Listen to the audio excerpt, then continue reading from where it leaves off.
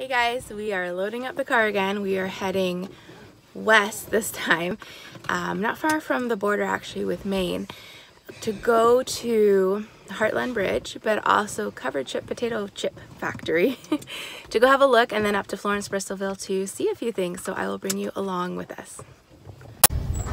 The road we needed to go on was closed, so we're trying to find a way around and it is pretty, but this is a very old creaky bridge. It's a little concerning. Great place to go fishing. Fishing spot.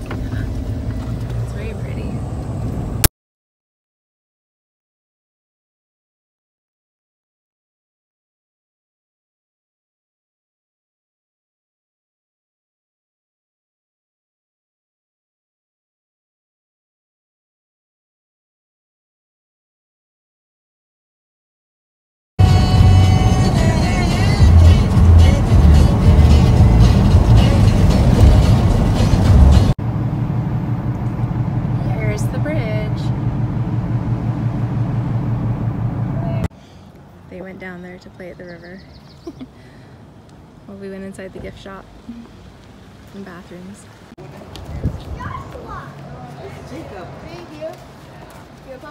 People written their names in here?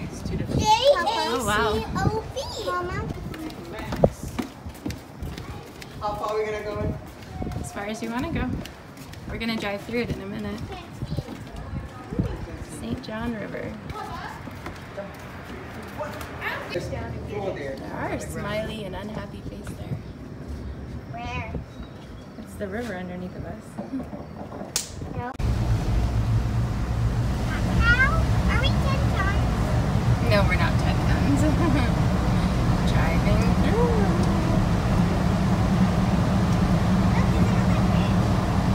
Yeah, there's lots of bridges over here. It's taken a while to build this. Especially so long ago. It's pretty smart. You don't have to plow the snow off of it.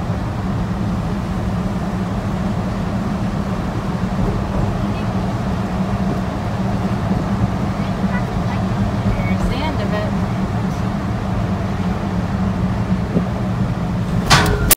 We can smell the potato chips. It's right in behind there.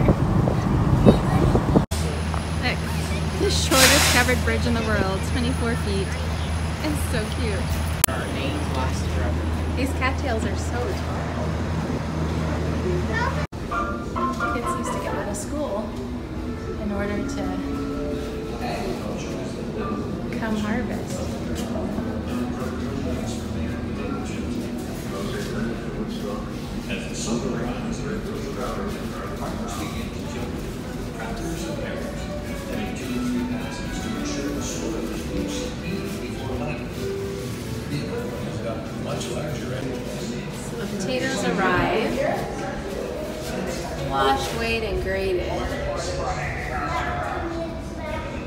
Of potatoes are dumped into a small potato hopper and re-washed in batches. So I think, look at there.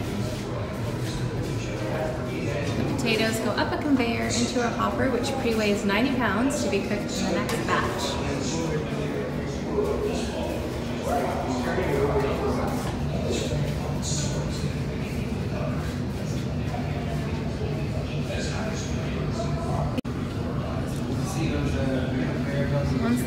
Cooked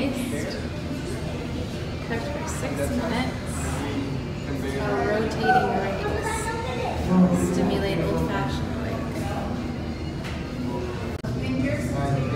Why are they all falling out? I'm not sure why fallen out. Look at the conveyor taking them over there.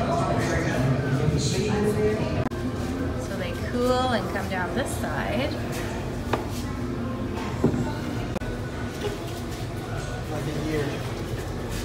Oh, they check for if there's any defects in them.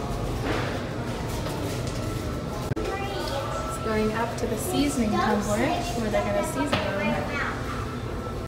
Take it. What type are they? It's not flavored. You get Are these split? Are these like check Yeah. You go through a metal detector before being put in the bag. Just in case there's metal involved from the soil. Those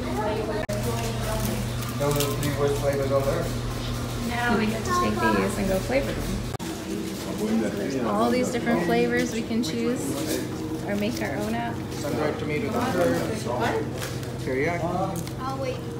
spicy sesame, grandma's hot apple pie, jalapeno. Bubblegum's good. Yeah, just need to mix it in so they all get done. We are in Florenceville, Bristol at the Al- Alavina Perkins Memorial Park. The whole place is called Sam's Park. We thought we'd come have a little look because they have an enchanted forest in behind here we're gonna go look at. Here's the enchanted forest. Definitely prints of something there. Yeah, I see those plants. Where are the prints? Right there. Down there. It's a nice little forest walk. I know. There's a plant. Mosquitoes are biting. Gabriel's Lake. Why are there fishy in here? It's a pond, there might be. Small, especially if it's deep enough. They've got like some golf places around here you can use too. The kids have gone off to the playground. There's just some other people here now. Little fish. Small fish, but maybe there's big ones in here too.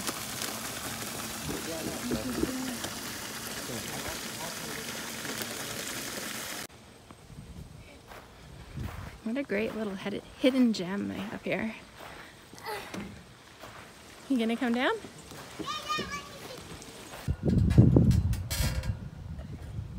Still higher. My chain's almost. Here is the Potato Museum. Potato World. What is the potato?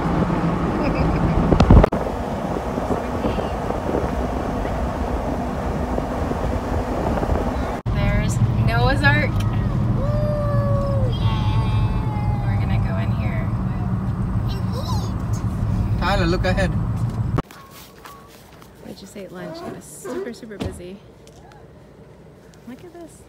I'm not sure if it's apartments or um, a hotel on the top. There's a lot of flies over here. Paintings coming off. Too bad, it'd be beautiful. All right, we're at Hunter Brothers Farm. We're going to go get some fresh corn that's just ready and a few rain- things. They in. There's some really pretty homes overlooking the river here. Cute. It's in tight. It's in tight.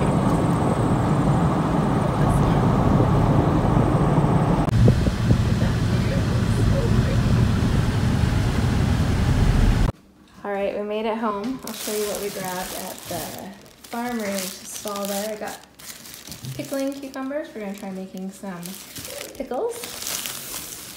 We got corn on the cob for dinner tonight.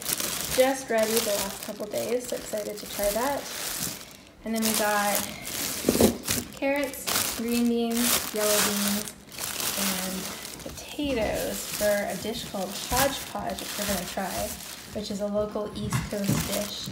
I think I have everything I need for it. I feel like I'm missing something. We will find out, and I'll try making it tomorrow.